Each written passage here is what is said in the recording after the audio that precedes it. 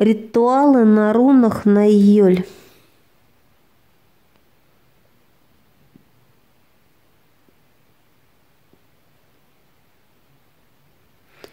Чертим или на картах на год, либо на бумаге на один месяц. По желанию.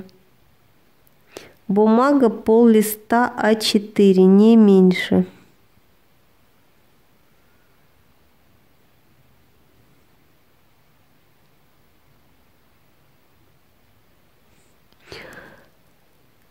Первое. Вернуть близкого домой, к Одину.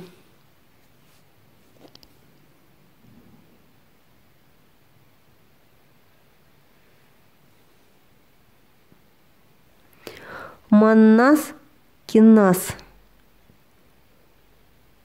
Сказать.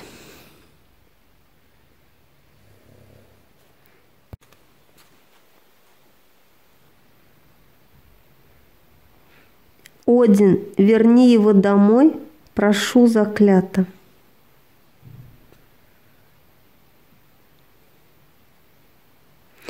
Как вернется, сжечь карту, выбросить на перекресток. Описать вслух, кого хотите вернуть подробно.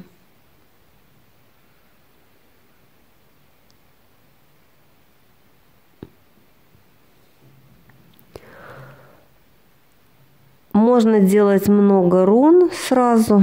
Эти листы хранить вместе. Не обязательно их развешивать. Можно ложить в коробочку. Карту тоже держим в коробочке. Это я уже говорила. Активация обращения. Когда относите на перекресток или сжигаете, это дезактивация. Но в любом случае учтите, когда вы к Богу обращаетесь, то вы все равно должны носить Ему дары. Если вы часто обращаетесь к любому из богов, этот ритуал конкретно не предусматривает, но если вы пользуетесь их силой, то дары и откупы вы носить будете. И неважно, на рунах вы, а, руны пользоваться самостоятельно, это не все могут. Кто именно рунической магией занимается, те могут, они вас могут просто покалечить, они очень тяжелые. Очень. Я вначале делала на месяц, потом на три, э, потом просто уже на год. Они тяжелые перечерчивать, даже когда не сам вливаешь силу. А Бог вливает это очень тяжелое.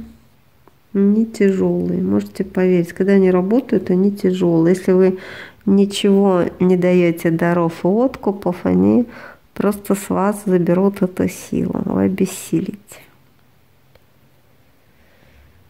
Имейте это в виду. Руны, они всегда забирают силу. Либо вы откупаетесь, это Бог делает, либо сами они с вас заберут. Ничего в этом, в рунической магии не все бесплатно. Поэтому э, кто магией рунами занимается, делает их буквально на несколько дней и уничтожает. Я пользуюсь помощью Бога, поэтому это надолго. Я сама не делаю. Я пробовала, это очень тяжело. Особенно много их наделать. Это реально тяжело. Вот тяжесть чувствуете, значит, у вас это работает. Такой признак безошибочный.